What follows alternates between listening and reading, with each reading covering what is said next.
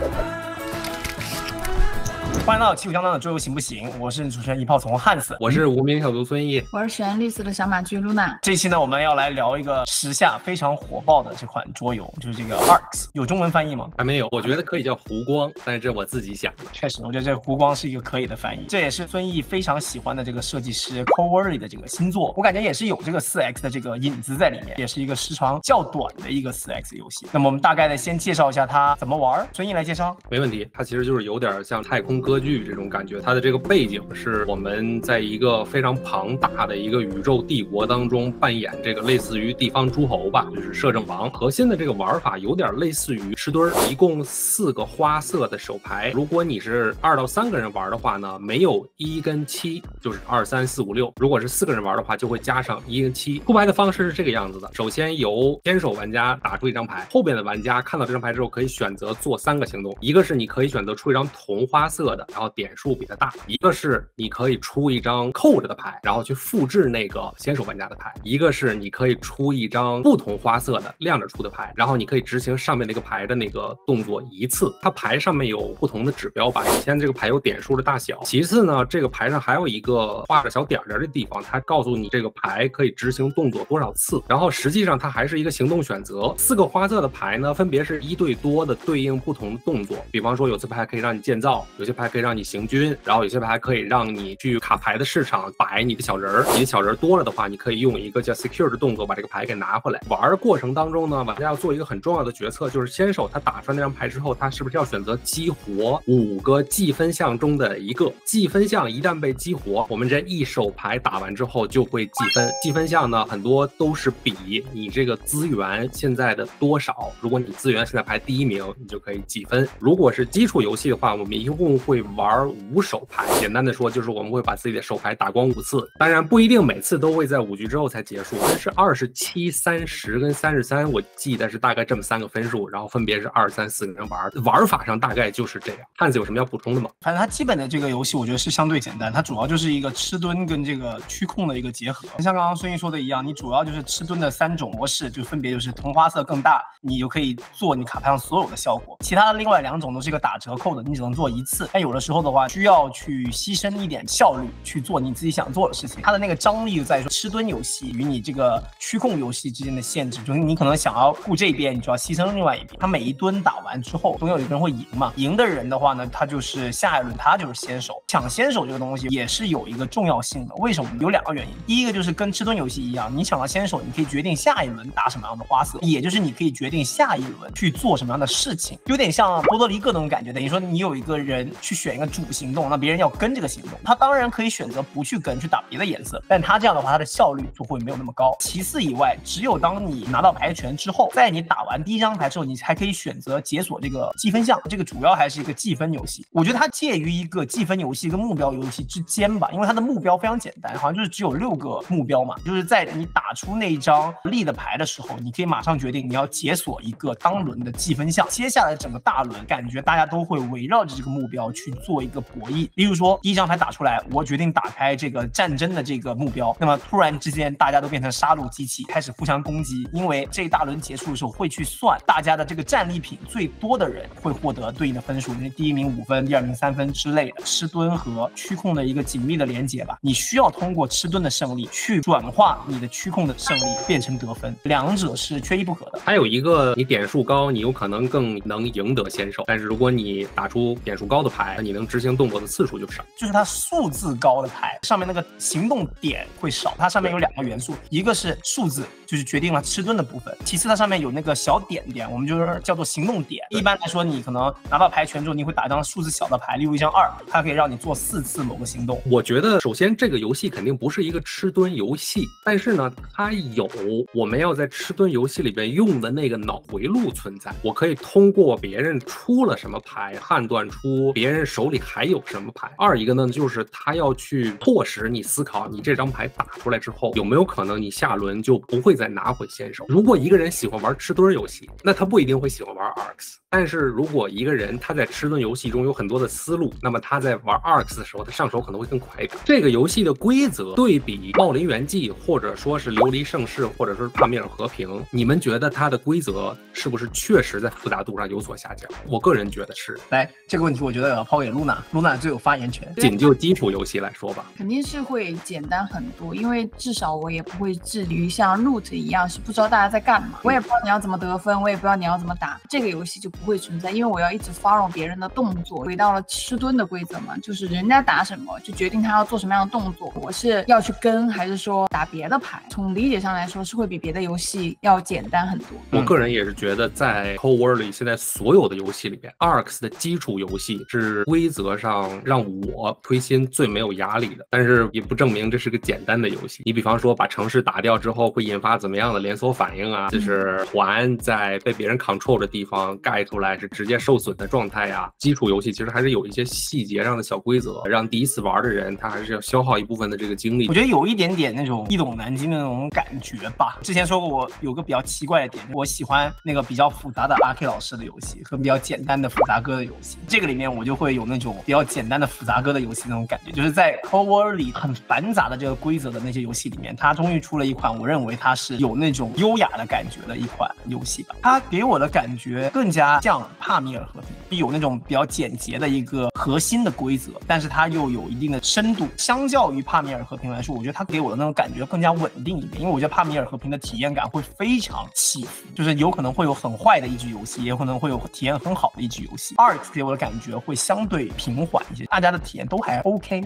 它其实就是把一个驱控游戏它的那个资源给替代成吃蹲了，就吃蹲是它的资源，你的暴兵也好，你的行动也好，它都取决于你这个手。牌嘛，虽然它里面有那个可以放资源的坑位，但那些我看起来更加像是一些天筒。从某种意义上来说，应该是做的最有效的玩家会获胜。就是例如说，你能够最大化你的动作，尽量的一手牌，让你能做的动作都多做，多做一般来说就会比少做强。但是它又规避了单纯这个游戏是效率游戏的方式，就是它通过打开这个目标没有办法完成目标的时候，你再高的效率似乎在当下也没有用，你可能就是要寄希望于下一轮去打开你这个效。率很高的这条赛道的一个算分项，从而去得分。它整个架构来说是很清晰，且是我比较喜欢的那种环环相扣。我觉得基础游戏来说蛮优雅的吧，就感觉终于有一款游戏，在它的角度来说，让它做的比较简洁还是蛮难的。但是我觉得它做到了。是的，我很同意。像第一次玩的时候，刚刚学会那个出盘系统的时候，你可能会觉得 OK，我要最大化我的这个行动总数。但是你玩着玩，你可能会发现，如果你一味的追求最大化行动总数，而不是把这个行动执行的效率跟跟你的得分项所契合起来的话，那即使你做了很多很多的行动，你会发现自己可能没有得到分数。你刚才说大家玩的时候，所有人的体验都不会像帕米尔和平那样两极分化很高的时候，我看露娜的眼角闪过了一丝质疑。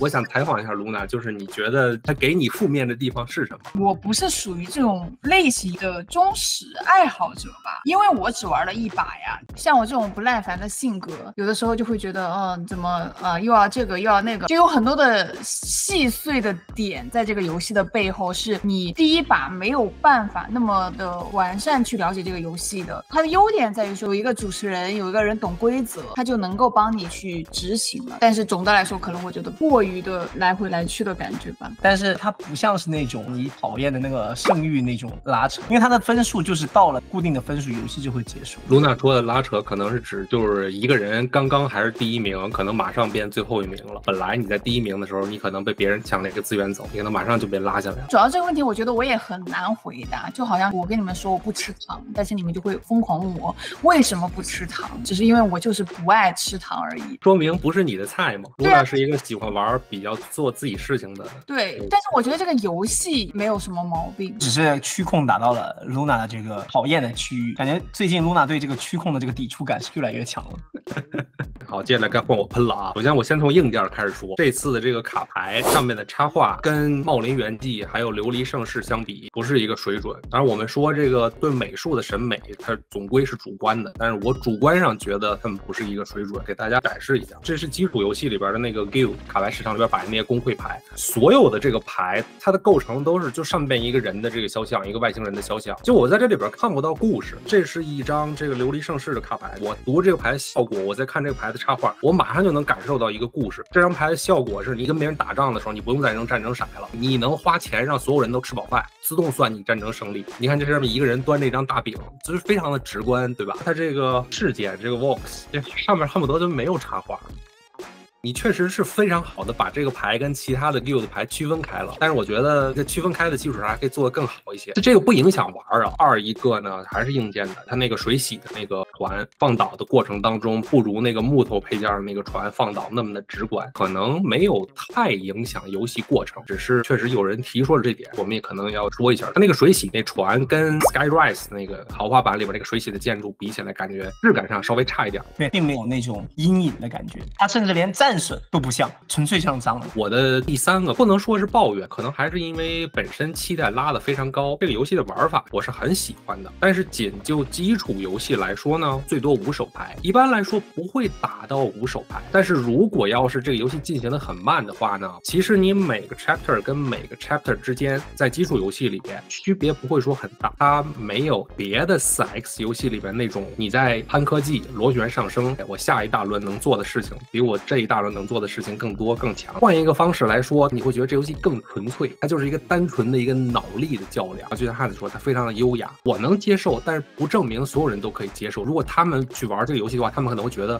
我每手牌都这么打，稍微少一点能让我感觉到更多新鲜感，或者说更多刺激感、进程感的那种游戏要素引入。汉子，我不知道你有没有这种感觉？只考虑基础游戏的话，这个是不是一个可以被视为缺点的一个地方？我觉得你说的是对的，确实好像它没有一个成长性，唯一的成长性可能只有。有两种，第一个是在地图上建造了这个城市之后，你可以把你得分的上限以及获得物品的那个容量提高。但这两个我觉得都比较有限，这是唯一我觉得有比较重要的成长性，就是它得分可以额外得五分还是多少分，那个还蛮重要。除此以外，它别的一些所谓的引擎构造就基本上等于没有，就是去买那个 guild card，你你可以认为是随从卡吧，就这个人在你的面前只会有两个好处吧，一个就是他可能会给你提供你想要的那个标记，标记的话大多数情况下是跟你的。那个目标挂钩的，例如说我们就拼谁这个标记多，有点像那个方舟动物园一样，对吧？我们来拼这个亚洲的这个标记谁多，谁多就得分这种感觉。除此以外，它有可能这个卡会给你提供一个被动效果，例如说让你战斗的时候可以重骰，也有可能它这张卡会给你一个一次性的效果，例如弃掉这张牌给你加四艘船在你的星系里面，仅此而已，并不会有那种越建越强的化学反应。但是我们没有加它的那个不对称玩家能力的那个模组，我觉得这可能是其中一个问题，因为它好像是说你可以有一个领导人。和一个背景故事，你可以认为你有两个技能，是你可以在最开始的时候去做一个构建。比如说，我想侧重于打仗，或者我想侧重于贸易，但是那个是另外一个层面，因为它还是解决不了你每一轮在做同样事情的这个纠结。可能还是我特别会打仗，那么每一轮我都是以打仗为主去解锁我的得分项，去更好的刷分，仅此而已。我觉得它可能只是为了减少手牌的随机性吧。这一点我觉得是从吃蹲游戏那边继承过来的。你可以认为我光打吃蹲游戏的一局的话，只能说说明。他排好，但是如果你连续打三轮，那就不是单纯的排好。这个就是我觉得我能想出来的黑点了。然后接下来我就鼓吹他了。我首先最喜欢的也是他这个基础游戏里边这个非常优雅的这种行动选择的方式。我特别喜欢那种给我艰难选择的这种游戏，就是没有万全的完美的动作。你会想着我要不要早点开这个胜利条件？那如果你早点开了，别人肯定会来阻止你。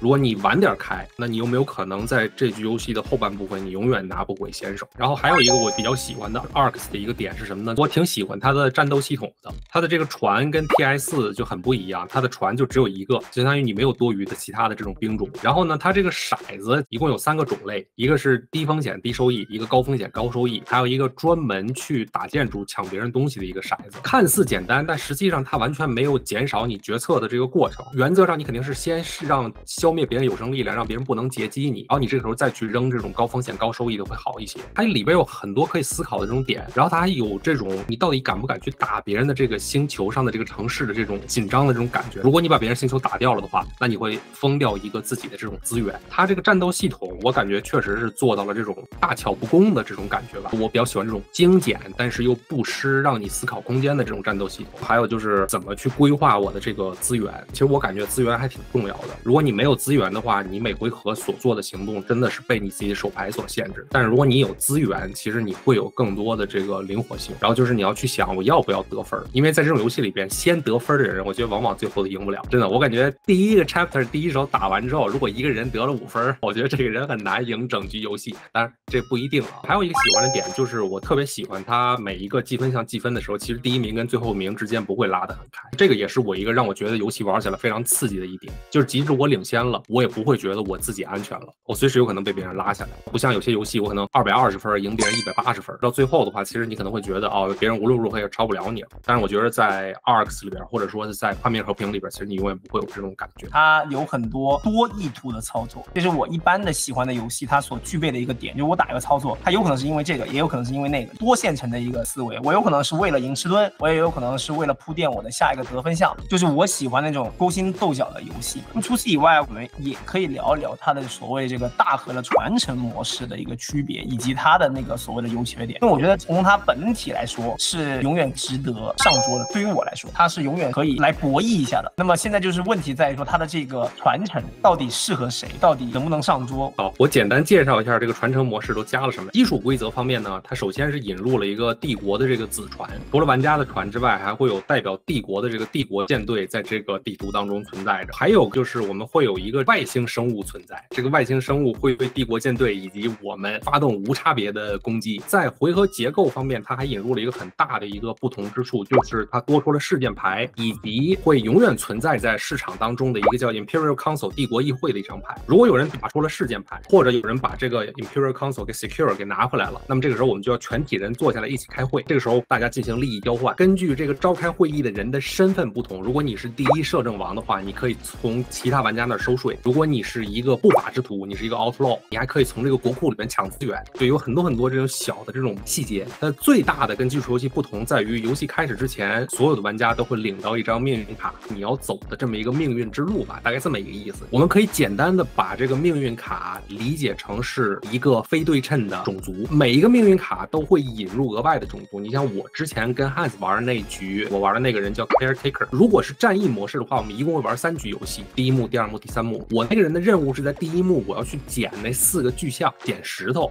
我们还没有玩到第三幕，但是我看了一下后边的卡是什么。在第二幕的时候，我我要把这个石头换血。在第三幕的时候，因为这些石头可能太大了，或者说变得越来越无法控制了，在第三幕的时候，我反而要把这些石头全都给再毁掉。它这个命运还分三个不同的拿取的方式。玩战役第一幕的时候，每个玩家拿的都是 A 阶段的命运。我们玩完之后，我们不仅要记我们得的分，我们还要看我们是否完成了这个命运提供的目标。实际上，它设计是鼓励你去完成目标，而不要太看重第一局跟第二局的分数。为什么呢？因为第一局跟第二二局的分数都会最后除二，所以相当于什么呢？如果你第一局得了八分，那你玩到第三局的时候，那八分就变成两分了。所以它其实明显是鼓励你更加看重目标一些。如果你能一直完成目标的话，你可以带着你的第一个阶段，就是命运 A，一直到第三幕。但如果你没有完成也没有关系，你可以领命运 B 或者命运 C。有些命运你一直玩到最后，它会给你一个 Grand Ambition，就是除了普通的积分项之外，它给你一个只有你自己可以进行的积分项。有些命运 C 呢，不给你 Grand Ambition，但是它会给你一个 Final Objective，就是如果你玩到最后，你完成了 Final Objective，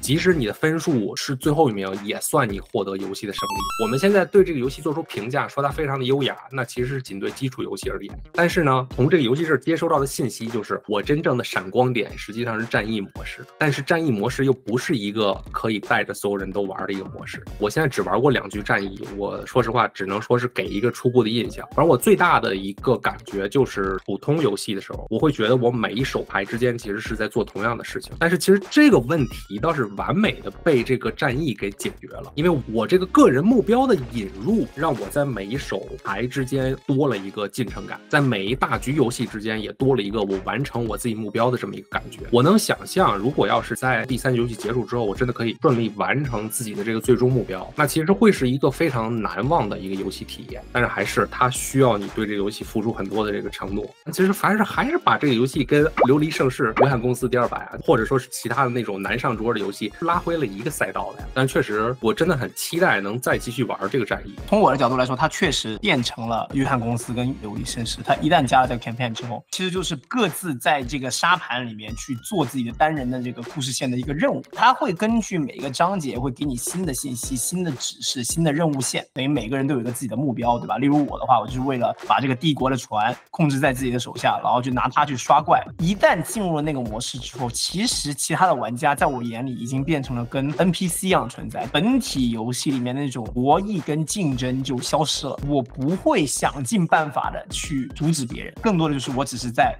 关注于我自己的故事线，别人只是过客，就是我们就是擦边就是擦过了，或者你正好在这里，我拿你刷个分，这样就变成了它的互动性大大的打折。我自己的感觉是这个样子，仁者见仁，智者见智了。因为我们那一把大家都还是在一个好人帮，就是就变成了约翰公司，我们都在这个帝国里面，但是大家都有自己的小目标，就对吧？那都不干人事儿，它确实变得很复杂。石头当时没有玩那个本体，直接玩这个，他直接就是说给他的感觉是跟琉璃盛世是一样的，他就会脑容量爆炸，非常的不友好。今天换成石头头坐在这儿，石头也是喷是吗？啊，对，我觉得是这样的。他的意思就是他不需要再有一个琉璃绅士，而且琉璃绅士他本来也没有很喜欢这个的话，我觉得就是变成了你到底是喜欢一个与人斗的游戏，看在当下的这个博弈，你来我往那个过招，像帕米尔和平那样，对吧？也是我喜欢的点，还是说你想要一个长久的故事线？所谓的 A B C 的这个命运，其实你可以认为它整个故事就是一个三部曲，它有三大部分的故事情节，根据这个故事情节，给你分成了长、中和短的不同的任务线。长的任务线就所谓的 A 命运，它需要你三部曲全部完成，才会有个故事曲线，少一张都不行。我们都在一个三集的连续剧，有些角色是第一集就出现的，有些角色是第二集出现，有些角色只在最后一集出现，然后他干个事情，然后他就走了。这一点来说，我认为它是个巧妙的设定。原因是因为第一个是它可以解决刚刚孙毅说的一个，就是如果你一开始选了一个长线的故事线，你做一半，你对它失去了热情，你觉得这个故事线和你个人热衷的事情分离了。就例如我是一个好战的人，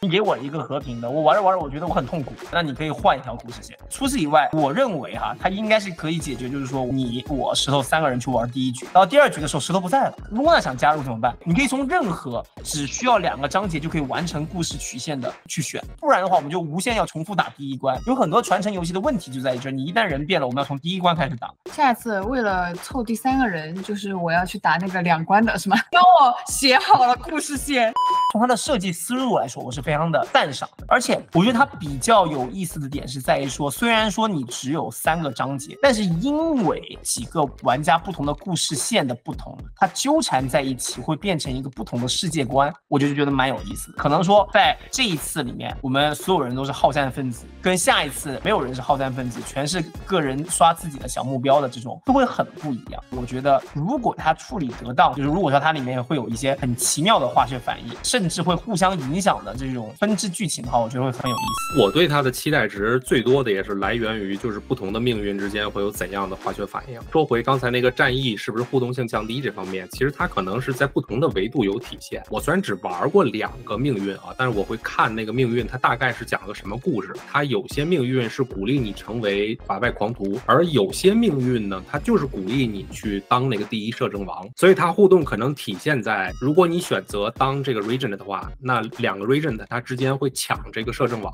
有一些忠于帝国的这种命运会说，你如果要去打这个法外狂徒的话，我给你分数。那相对来说，那个法外狂徒的命运可能会告诉你，你要去打这个帝国的这个玩家，然后给你分数。然后玩到第三幕的时候，他可能会有想得分取胜的人跟想通过 final objective 取胜的人之间这种互相的这种张力。但是这些都是我脑杀的结果。颅内小剧场，天哪，莱卡，你在我的麦克风前面制造噪音是什么意思？我很喜欢它的基础游戏，但是它的基础游戏呢，我会觉得有一些缺点存在。我的颅内小剧场告诉我，这个缺点可能会被战役的引入完美解决，但是我的理智又告诉我，战役是不是一直有人能陪我玩，就很分裂。但是如果你问我推不推荐这个游戏，那我作为一个脑残粉，我肯定是推荐。我一共玩过两局战役，两人局我玩过两次，四人局我玩过一次，三人局我玩过两次。对基础游戏的话，还是能给出一个比较客观的评价。但是确实对于战役的，只能是给一个初步的印象。但期待值反正是已经拉满了。从我自己的角度来说，我应该是会推荐这个游戏的。我觉得它拉到同当年的别的游戏里面，我觉得它是属于翘楚的吧，就是各方面来说，除了硬件方面被吐槽了一些以外，但是我觉得问题不大。就是总的来说，它是属于今年我觉得值得一试，且它有一定的新意，也蛮扎实的这么一款桌游。你可以把它的传承和本体认为是我觉得为数不多处理的比较好的，把两个受众面都打到了的一种做法。就你如果不喜欢琉璃盛世，你喜欢画面和平，那你就买本体；如果你喜欢琉璃盛世，但是觉得琉璃盛世有一定的缺陷，但是你觉得它那种形式你很向往，那你就买传承跟本体。那么它会给你一个更好的琉璃盛世体验。所以我会觉得不管怎么样，你都值得买，只是说买多买少的问题。虚控游戏本不是我最喜欢的类型的游戏嘛，甚至有的时候非常容易不喜欢。但是呢，听完你们说的传承，它不是让我去做虚控游戏了，而是去完成一些任务的话，会不会摒弃掉我不喜欢的一些点？比如说那种很为了分数勾心斗角的那种。对，就是给你一个小目标，给了你一根哎这个吊在眼前的胡萝卜，就往那边就去了。对啊，我管你们干嘛，我就完成我的任务。哎，好像还可以试一下，怎么说？下次三人局又能组得起来了是吗？安排的明明白白了。给你们一次两次的机会吧。那么本期节目就到这里了，我们下期节目见，拜拜拜拜。